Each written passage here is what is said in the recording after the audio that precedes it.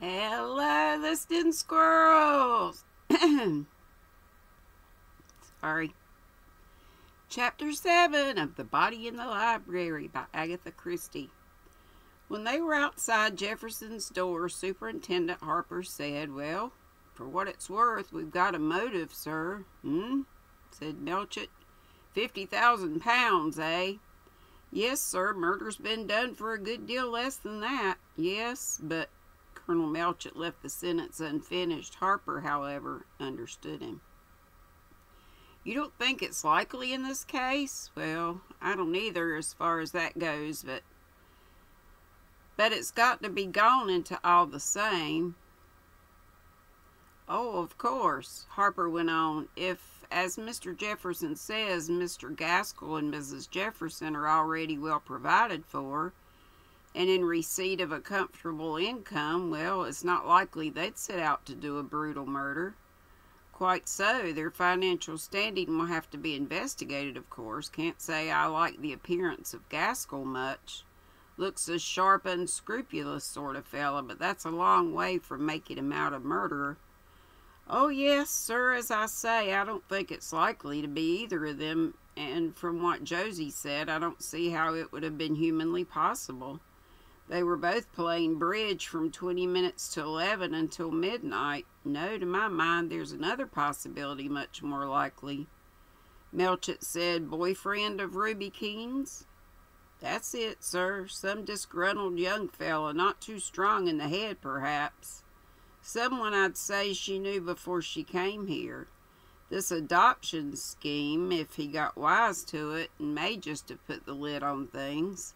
He saw himself losing her, saw her being removed to a different sphere of life altogether, and he went mad and blind with rage.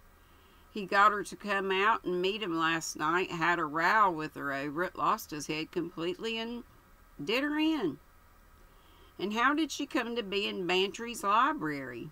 I think that's feasible. They were out, say, in his car at the time he came to himself, realized what he had done, and his first thought was how to get rid of the body. Say they were near the gates of a big house at the time. The idea comes to him if she's found there, the hue and cry will send around the house and, and its occupants and will leave him comfortably out of it. She's a little bit of a thing. He could easily carry her. He's got a chisel in the car. He forces a window and plops her down on the hearth rug. Being a strangling case, there's no blood or mess to give him away in the car. See what I mean, sir? Oh, yes, Harper, it's all perfectly possible, but still one thing to be done. What? What? Oh, very good, sir. Superintendent Harper tactfully applauded his superior's joke. He said something in French. And I can't say it. it's two words. So, uh, although owing to the excellence of Colonel Melchett's French accent, he almost missed the sense of the words. Oh, er, I say, er, could I speak to you a minute? It was George Bartlett who thus waylaid the two men. Colonel Melchett, who was not attracted to Mr. Bartlett and who was anxious to see how Slack had got on with the investigation of the girl's room, and the questioning of the chambermaids barked sharply, Well, what is it? What is it? Young Mr. Bartlett retreated a step or two, opening and shutting his mouth and giving an unconscious imitation of a fish in a tank. Well, uh, probably isn't important. Don't know. Don't you know? Thought I ought to tell you. Matter of fact, can't find my car. What do you mean, can't find your car? Stammering a good deal, Mr. Bartlett explained that what he meant was that he couldn't find his car. Superintendent Harper said, Do you mean it's been stolen? George Bartlett turned gratefully to the more placid voice.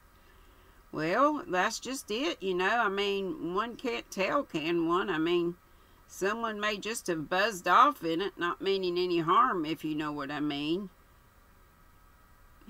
When did you see it, Mr. Bartlett? Well, I was trying to remember. Funny how difficult it is to remember anything, isn't it? sure is. Colonel Melchett said coldly, Not, I should think to a normal intelligence, I understood you to say just now that it was in the courtyard of the hotel last night. Mr. Bartlett was bold enough to interrupt. He said, That's just it, was it? What do you mean by was it? You said it was. Well, I mean, I thought it was. I mean, well, I didn't go out and look, don't you see? Colonel Melchett sighed. He summoned all his patience. He said, Let's get this quite clear. When was the last time you saw, actually saw, your car? What make is it, by the way? Hmm. M-I-N-O-A-N 14. And you last saw it when? George Bartlett's Adam's apple jerked convulsively up and down. Been trying to think. I had it before lunch yesterday, was going for a spin in the afternoon, but somehow, you know how it is, went to sleep instead. Then after tea, had a game of squash and all that, and a bath afterwards, and the car was then in the courtyard of the hotel. Suppose so. I mean, that's where I'd put it. Thought, you see, I'd take someone for a spin.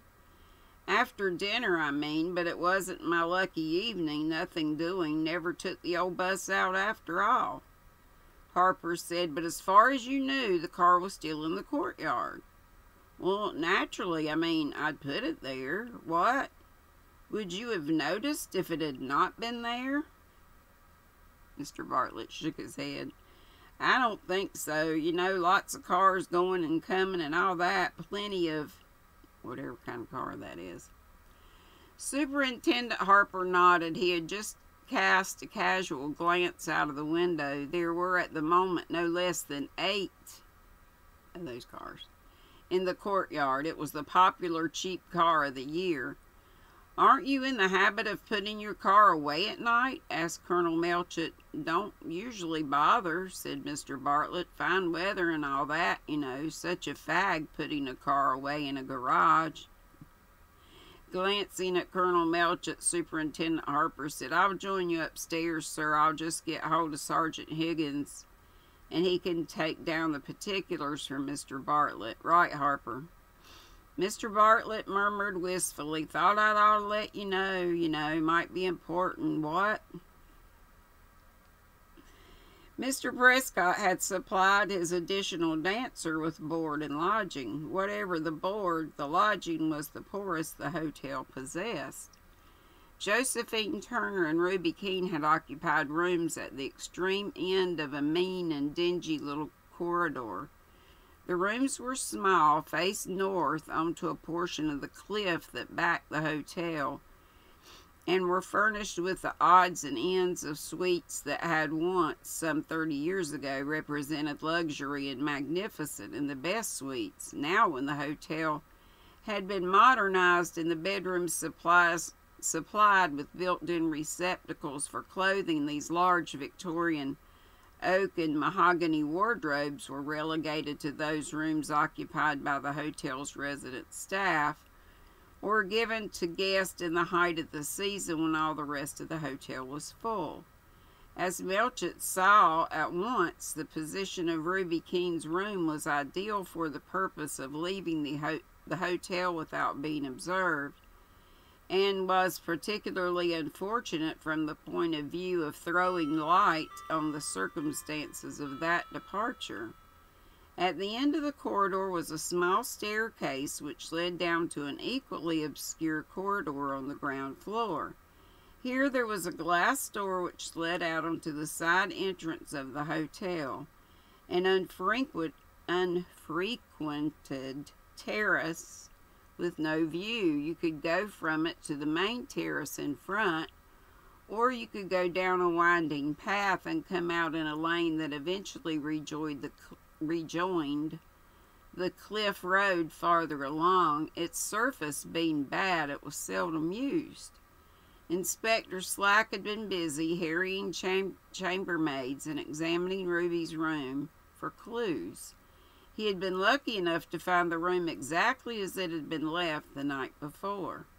Ruby Keene had not been in the habit of rising early. Her usual procedure, Slack discovered, was to sleep until about 10 or half past and then ring for breakfast. Consequently, since Conway Jefferson had begun his rep- representations to the manager very early, the police had taken charge of things before the chambermaids had touched the room. They had actually not been down that corridor at all. The other rooms there at this season of the year were only opened and dusted once a week. That's all to the good as far as it goes, Slack explained gloomily. It means that if there were anything to find, we'd find it, but there isn't anything.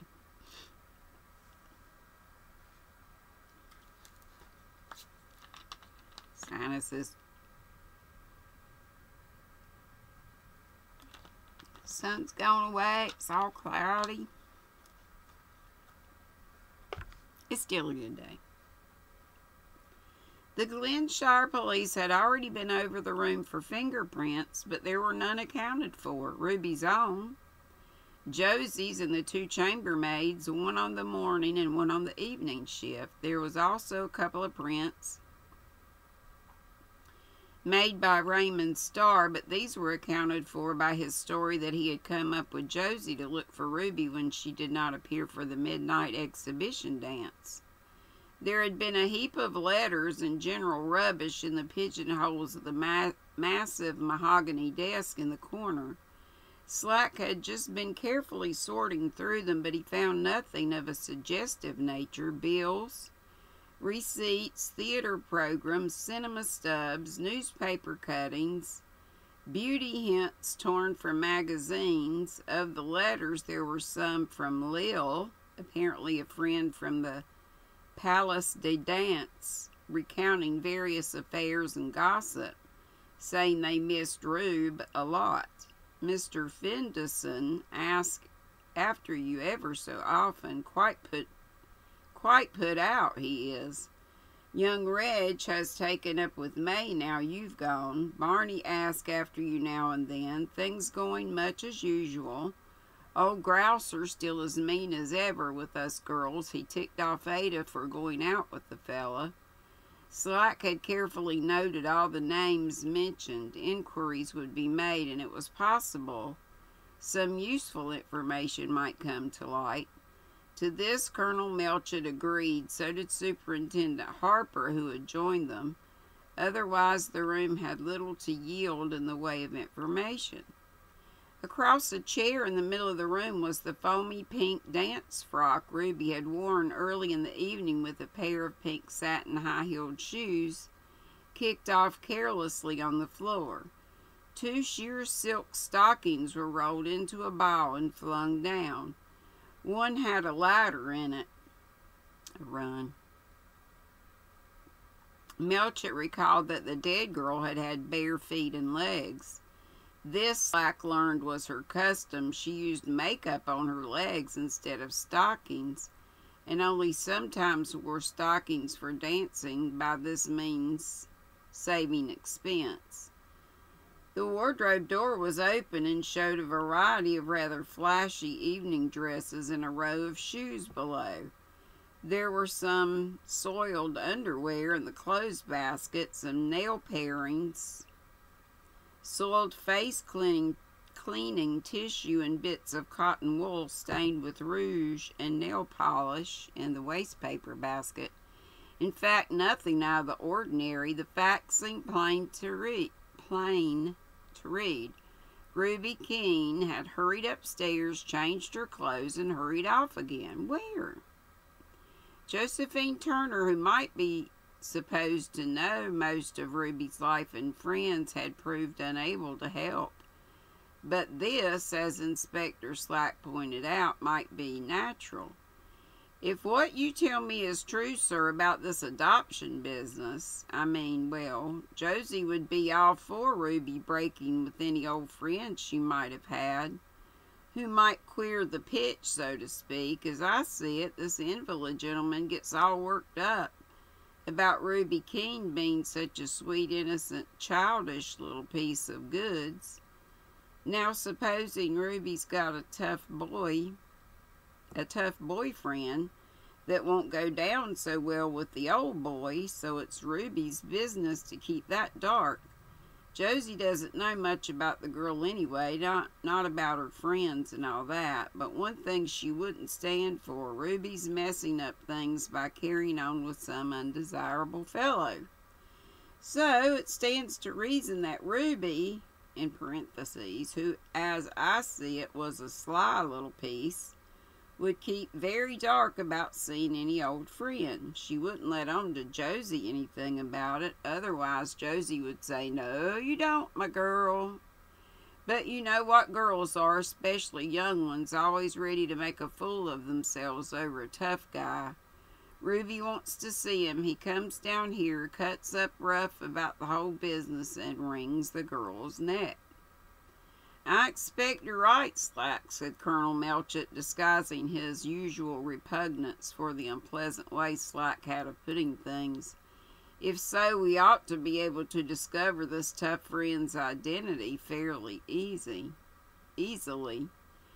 You leave it to me, sir, said Slack with his usual confidence. I'll get a hold of this little girl at the Palais de Danse place and turn her right inside out. We'll soon get at the truth.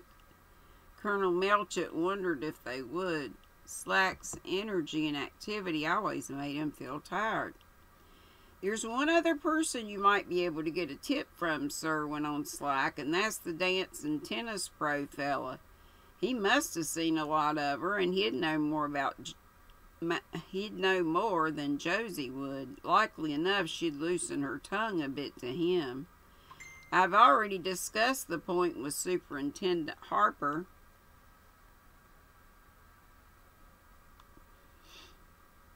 Uh, good, sir. I've done the chambermaids pretty thoroughly. They don't know a thing. Look down on these two as far as I can make out. Scamp, scamp the service as much as they dared. Chambermaid was in here last at seven o'clock last night when she turned down the bed and drew the curtains and cleared up a bit. There's a bathroom next door if you'd like to see it. The bathroom was situated between Ruby's room and the slightly larger room occupied by Josie. It was illuminating. Colonel Melchett silently marveled at the amount of aids to beauty that women could use.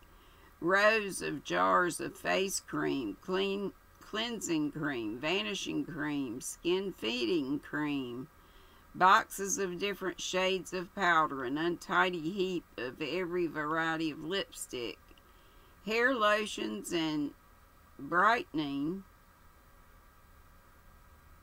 hair lotions and brightening applications.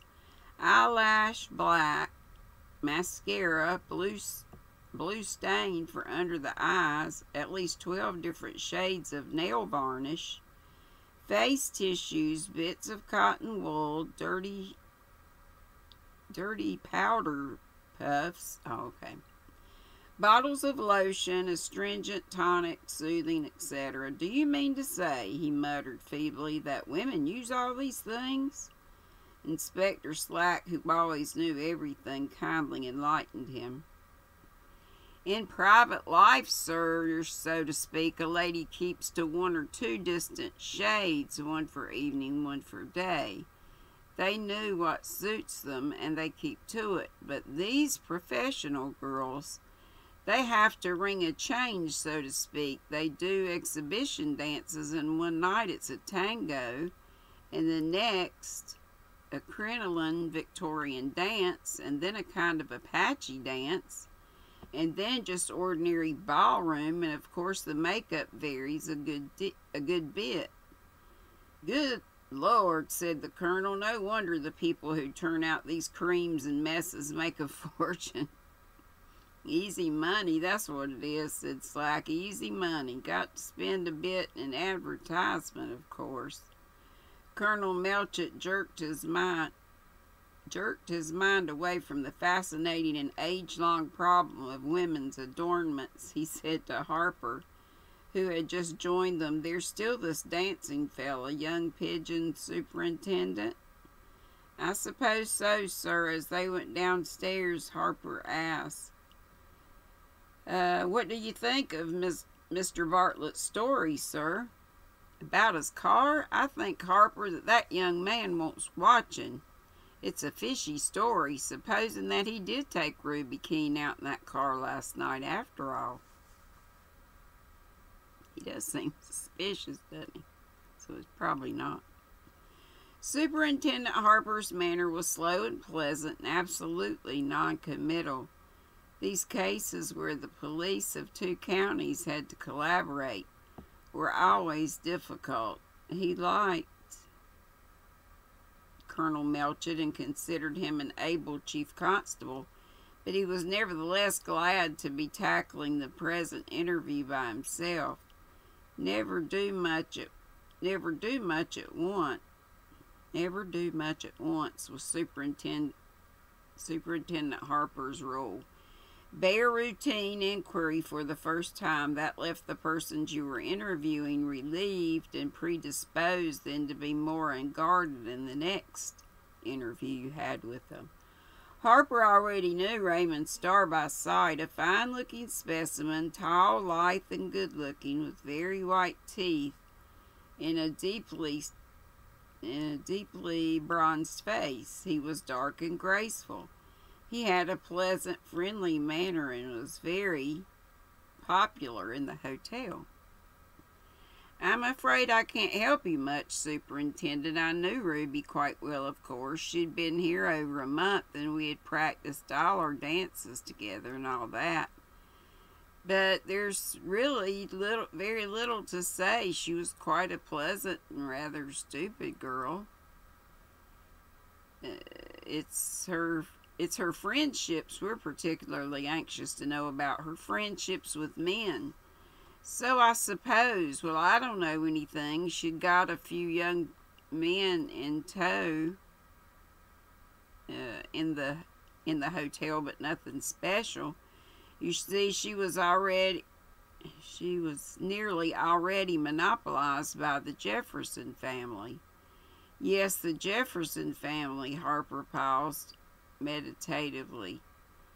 He shot a shrewd glance at the young man. What did you think of that business, Mr. Starr? Raymond Starr said coolly, What business? Harper said, Did you know that Mr. Jefferson was proposing to adopt Ruby Keene legally. This appeared to be news to Starr. He he pursed up his lips and whistled. He said, The clever little devil. Oh, well, there's no fool like an old fool. That's how it strikes you, is it? Well, what else can one say? If the old boy wanted to adopt someone, why didn't he pick upon a girl of his own, own class?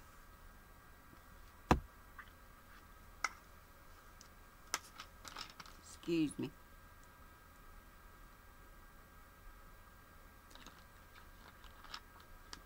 Do love a Diet Pepsi. Yum. I have been drinking water though. Ruby Keene never mentioned the matter, do you? No, she didn't. I knew she was elated about something, but I didn't know what it was. And Josie? Oh, I think Josie must have known what was in the wind. Probably. She was the one who planned the whole thing. Josie's no fool. She got a head on her, that girl. Harper nodded. It was Josie who had sent for Ruby King. Josie, no doubt, who had encouraged the intimacy. No wonder she had been upset when Ruby when Ruby had failed to show up for her dance that night and Conway Jefferson had begun to panic she was in invis envisaging I don't know what her plans going awry, he asked, could Ruby keep a secret, do you think? As well as most, she didn't talk about her own affairs much. Did she ever say anything, anything at all? About some friend of hers, someone from her former life who was coming to see her? see her here or whom she had difficulty with. You know the sort of thing I mean, no doubt. I know perfectly. Well, as far as I'm aware, there was no one of the kind. Not by anything she ever said. Uh, thank you, Mr. Starr. Now, will you just tell me in your own words exactly what happened last night? Certainly, Ruby and I did our 1030 dance together. No signs of anything unusual about her then? Raymond considered. I don't think so. I didn't notice what uh, happened afterwards. I had my own partners to look after. I do remember noticing she wasn't in the ballroom. At midnight, she hadn't turned up. I was very annoyed and went to Josie about it. Josie was playing bridge with the Jeffersons. Jeffersons. She hadn't any idea where Ruby was. And I think she got in a bit of a jolt. I noticed her shoot a quick, anxious glance at Mr. Jefferson. I persuaded the band to play another dance, and I went to the office and got them to ring up to Ruby's room. There wasn't any answer. I went back to Josie. She suggested that Rosie, Ruby, she suggested that Ruby's room, and she suggested that Ruby was perhaps asleep in her room. Idiotic suggestion, really, but it was meant for the Jeffersons, of course. She came away with me and said we'd go up together. Uh, yes, Mr. Starr, and what did she say when she was alone with you? As far as I can remember, she looked very angry and said, Damn little fool, she can't do this sort of thing. It will ruin all her chances. Who's she with, do you know? I said that I hadn't mm, the least idea. The last I'd seen of her was dancing with young Bartlett. Josie said she wouldn't be with him. What can she be up to? She isn't with that film man, is she? Harper said sharply, Film man? Who was he? Raymond said, I don't know his name. He's never stayed here. Rather an unusual looking chap. Black hair and theatrical looking. He has something to do with uh, the film industry, I, I believe, or I believe, or so he told Ruby. He came over to dine here once or twice and danced with Ruby afterwards, but I don't think she knew him at all well. That's why I was surprised when Josie mentioned him. Mentioned him. I said I didn't think he'd been here tonight. Josie said, Well, she must be out with someone. What on earth am I going to say to the Jeffersons? I said, What did it matter to the Jeffersons? And Josie said it did matter. And she said too that she'd never she'd never give up she'd never forgive Ruby if she went and messed things up. We'd got to Ruby's room by then. She wasn't uh, Ruby's room. She wasn't there, of course, but she'd been there because the dress she'd been wearing was lying across the chair. Josie looked in the wardrobe wardrobe and said she thought she'd put on her old white dress. Normally she'd have changed back into black velvet into a black velvet dress for our Spanish dance. I was pretty angry by the by this time at the way Ruby had let me down. Josie did her best to soothe me and she said she'd dance herself so that old Prescott shouldn't get after us all. She went away and changed her dress, and we were down and did a good tango. Exaggerated style and quite showy, but not really too exhausting upon the ankles. Josie was very plucky about it, for it hurt her, I could see. After that, she asked me to help her uh, help her soothe the Jeffersons down. She said it was important, so of course I did what I could. Superintendent Harper nodded. He said, Thank you, Mr. Starr. To himself, he thought it was important.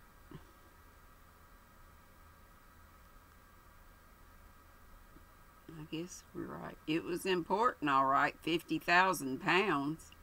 He watched Raymond Starr as the latter moved gracefully away. He went down to the uh, he went down the steps of the terrace picking up a bag of tennis balls and a racket on the way. Mrs. Jefferson, also carrying a racket, joined him and they went towards the tennis courts. Excuse me, sir. Sergeant Higgins, rather breathless, arrived at Harper's side. The superintendent jerked from the train of thought he was following, looked, looked startled. Message just came through for my young, through for you from headquarters, sir. Labor reported this morning saw glare as of fire. Half an hour ago, they found a burnt out car in a quarry. Venn's quarry, about two miles from here. Traces of a charred body inside. A flush came over Harper's heavy features. He said, What's come to Glenshire? An epidemic of violence? Don't tell me we're going to have to we're going to have we're going to have a Rouse case now. He said, could they get the number of the car? No, sir, but we'll be identi- we'll be able to identify it, of course, by the engine number, uh, M-I-N-O-A-N 14. They think it is. So there you go, chapter 7 and we'll be hopefully reading 8 tomorrow.